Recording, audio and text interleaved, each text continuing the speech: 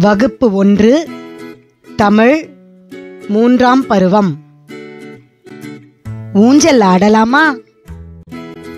வணக்கம் குழந்தைகளே. இன்று ஒரு குட்டி கதைய பார்க்கலாம் கேட்கலாம் புதியவற்றை கற்றுக்கொள்ளலாம். சரியா? ஊஞ்சல் ஆடுவது எனக்கு மிகவும் பிடிக்கும். உங்களுக்கும் மிகவும் பிடிக்கும். அப்படித்தானே? இந்த கதையில் வரும் விலங்குகளும் எப்படி ஊஞ்சல் ஆடுறாங்க அப்படின்னு பார்க்கலாமா?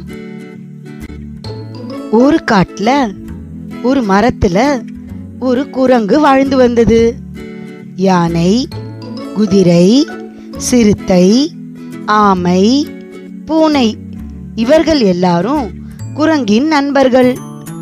ஒரு நாள் ஊஞ்சல் ஆடலாம் அப்படின்னு இந்த நண்பர்கள் ஆசைப்பட்டாங்க.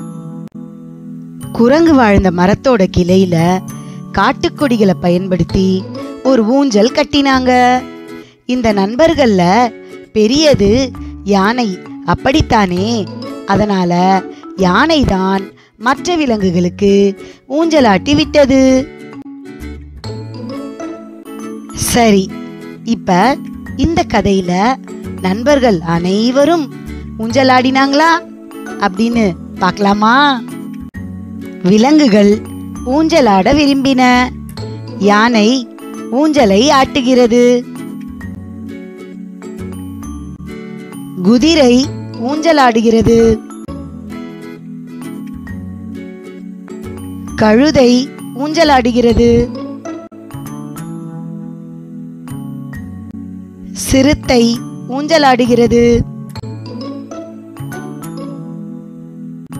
ஆமை ஊஞ்சலாடுகிறது.